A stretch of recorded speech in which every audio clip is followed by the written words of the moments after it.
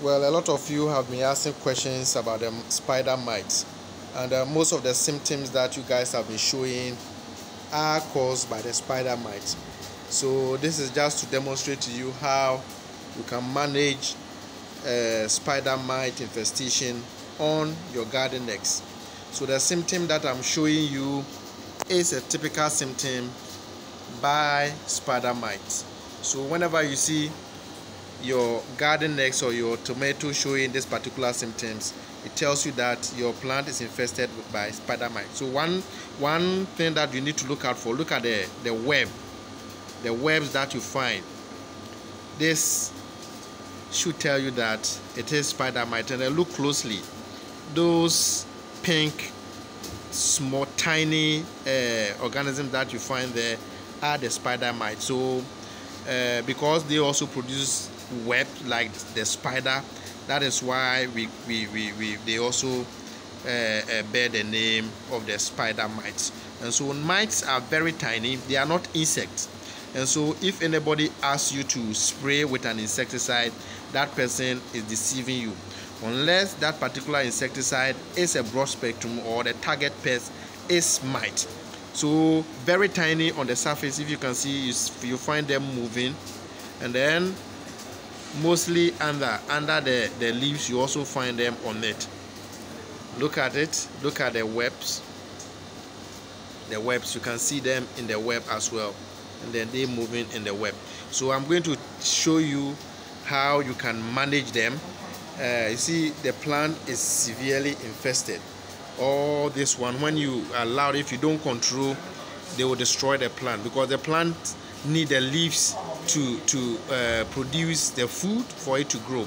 And so if they are destroying the leaves and then the pigment there's no way the plant will produce food for its growth. And so spider mite you can easily use a soapy water solution to blow them off. And so i will show you how you can prepare the solution and then use them.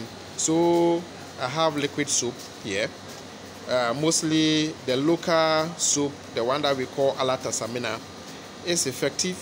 And so you can use alatasamina, but if you don't have alatasamina, just prepare any soapy solution, the neem leaf, and then you can just spray. But what you need to do is that you spray at least, this one is severely infested. So you need to spray at least twice a week and then spray regularly and you'll be able to. So yes you have to get your container. This is what i'm going to use to spray. Uh, in this is just one liter one liter container. So you can just measure at least five mil five mil of the the soup the the soapy water or the liquid soup and then you mix it with water to spray. So i'm going to demonstrate to you how you can spray it okay so this is how it is. I'm going to just measure the five mil five mil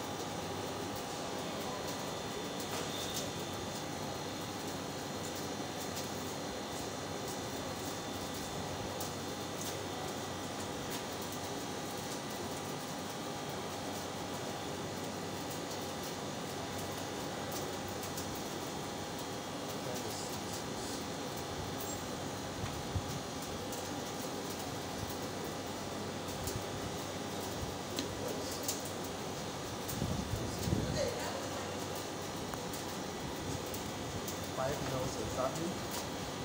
For the five mil but before that make sure you fill your container with water. Five mil or ten mil you can measure five mil or ten mils which is okay. So the 10 mil will also do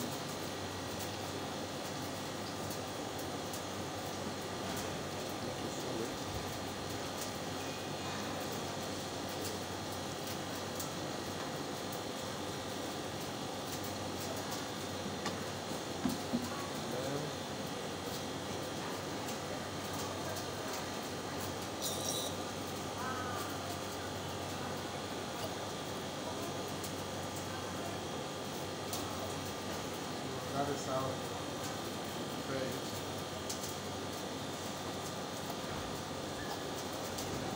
Okay.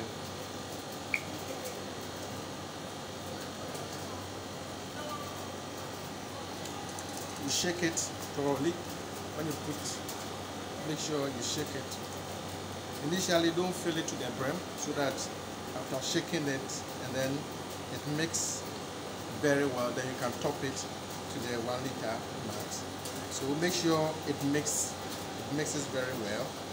And then if it mixes very well as you can see this one yes it's okay. So it is good to go. Now what you have to do is that look at the the the mites on it. So what most people do is that when they are spraying they don't spray to cover the surface. They just apply it on the surface and then ignore those hiding under. So all that you need to do is that you just they will not disturb you.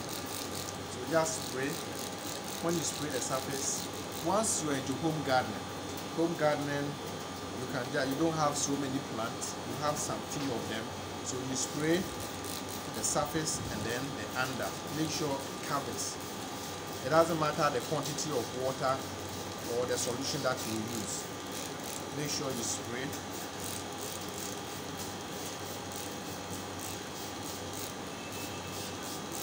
If you can also visit any agro shop and then get